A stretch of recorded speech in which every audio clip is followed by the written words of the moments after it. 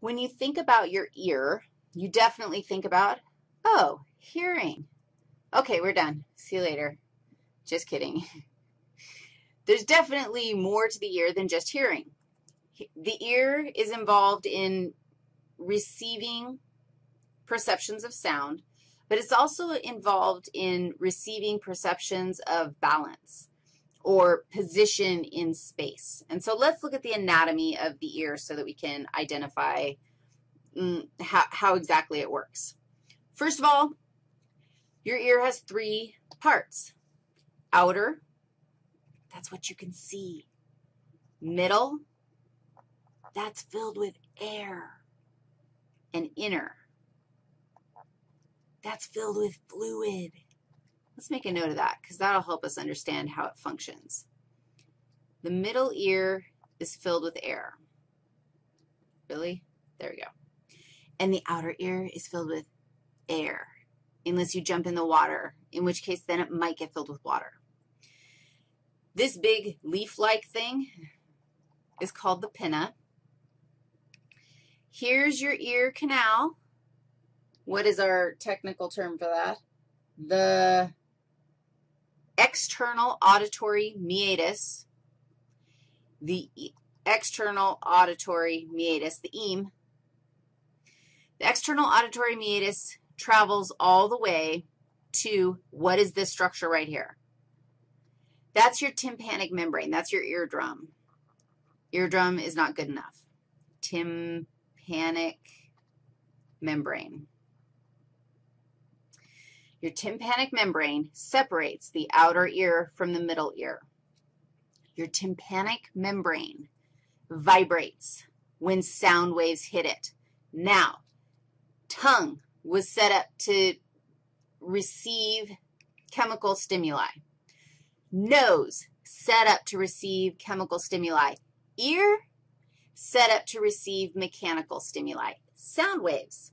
The sound waves we're going to make them pink for fun because we have sound waves for fun, man. And they come in and they literally apply a force to your tympanic membrane. Your sound waves, most of the time, you can't actually feel sound waves. You can feel the air, but feel, feel the mechanical vibrations that are making your sound when you talk. You can totally feel the vibrations here. And those vibrations come out, and the only reason why you hear anything is because my sound waves are going in and wiggling your tympanic membrane. Wow, that's really like intimate. A little disturbing, but we'll just stop right there. Your tympanic membrane starts wiggling. It's going to literally transfer the mechanical waves from the sound that's coming out into the middle ear. Now, if the waves just stopped, if we had just air between the tympanic membrane and our ultimate sensory structures, which are in the inner ear, then game over. You're not going to hear anything. Remove the structures in the middle ear, done. We got nothing going on. If we wiggle the tympanic membrane, and we throw a bone like the malleus into the mix, once we wiggle the tympanic membrane, what's going to happen to the malleus that's touching it? It's going to wiggle too. And then if the malleus is touching, oh, you know, the incus, what's going to happen to the incus when the malleus starts wiggling? It's going to start wiggling too. And if they both know the incus is now touching who? My friend Stapes. What's Stapes going to do? We got the wiggles going on. Now, this is crazy. Are you ready for this? Sound wave comes in at a magnitude of 1. The mechanical movement has like a, I don't know, just I'm making up, just think of it as a size 1. A size 1 earthquake. It's just tiny. After it wiggles the malleus, the incus, and the stapes, your inner ear bones, I mean your middle ear bones. The size of the wave is going to be amplified 22 times. What? Okay, so that's like me coming in and going knock, knock, knock. That's a one. And what you hear when I go knock, knock, knock is 22 times louder than that. True story. I mean, is that like, wow, what a great setup. That's perfect. So what? Well, Stapes. Who's Stapes? Touching, you guys. Very important. Look, I'll make it green so you can see it. Stapes has its hands on another membrane called the oval window. This is the oval window. The oval window and the tympanic membrane are the two structures that separate or that um, create the boundary of the middle ear that is filled with air. If a window, a membrane, can vibrate the bones, which then vibrate a membrane, what is going to happen inside these fluid-filled structures? Dude, have you guys been to the Discovery Museum? That's like my kids, well, back in the day when I was staying home with them all day long, we'd ride the bus to the Discovery Museum, and we'd play with the water thing down there. And they had this, like, water wave maker, and, oh, hours my children could stay and make waves at the water wave maker. And you push the, I don't know, block in through the water, and it would make this great big wave. When I'm yelling at you like this, it's so exciting, the oval window is going to vibrate. And what did I tell you was true about the inner ear? It's filled with fluid. It's like a wave maker.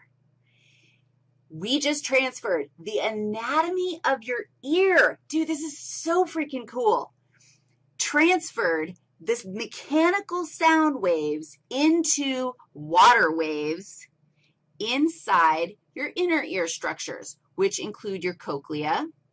Okay, we can't have it be that color because you can't see it. Let's try black. What novel idea? Cochlea. The cochlea looks like a little snail. And these guys have fluid filled in them also. These are the semicircular canals. Here comes the wave, a wave maker, because I'm yelling at you, and you hear me.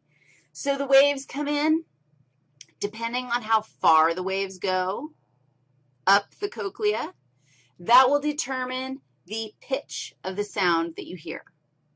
So as I'm talking to you in all these different pitches, and you can hear like all these different accents and excitements and whatever is happening, it's happening because the waves are go are like rushing in at different distances into the cochlea.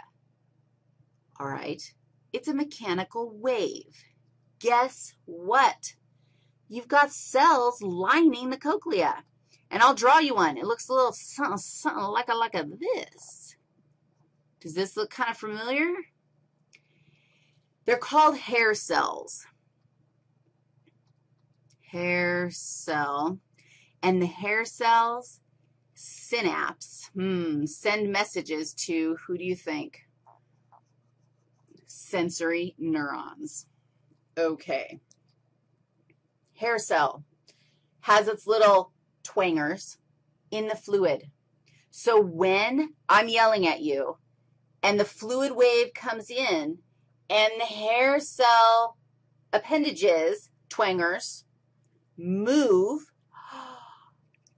if they move this way, then the hair cell says, dude, send that message to the brain and fires a message to the brain.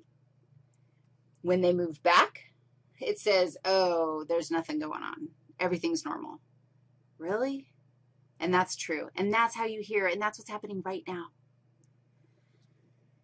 What about these semicircular canals? The cochlea is where sound happens. The semicircular canals are involved in three-dimensional perception of position. So if you are on your side, now this is also just shockingly cool. Also fluid filled. However, the sound waves don't travel in this structure. Instead, true story, dogs, there are rocks in this thing. What? There are. And you know what? Those semicircular canals are set up now. I have no idea because I'm spatially challenged. But I can visualize two axes, like an X and a Y, and then I know that somewhere there's a Z, and there's another axis that makes it three-dimensional. And those semicircular canals are set up to perceive all orientations of space. So if I knock my head over this way, they're set up so that in the, the rocks in the tubes, right, are going to fall because of gravity in a specific orientation in those three tubes because of how they're set up in three-dimensional space. You totally understood that, didn't you? Because I'm so skilled at explaining three-dimensional things. But here I am with my head on my side because all the rocks fell in my ear. And my semicircular canals are saying, really? Why are you sitting there with your head on your side? I could probably fall asleep in this position because, well, we just will stay focused right now. The rocks just fell back, and I totally have a perception of, oh, yeah, I to I'm, I moved. I'm standing back upright again. Oh, the rocks just fell, and they send the message for three-dimensional space. Now, they are fluid-filled, so if you get waves going through the fluid-filled semicircular canals, if you get, if by spinning and then you stop, do the waves stop? No, which is why you feel like you're spinning still when you are not spinning. No, you are not. Dude, the air is amazing. Now, we have some information coming in regarding balance, perception, three-dimensional location in space. We've got some information coming in regarding sound. Let's talk about how we're going to send that information to the brain and how we're actually going to process. Like, what's the pathway once we get into the brain? But first of all, pat your ears and say, dude, you guys are amazing.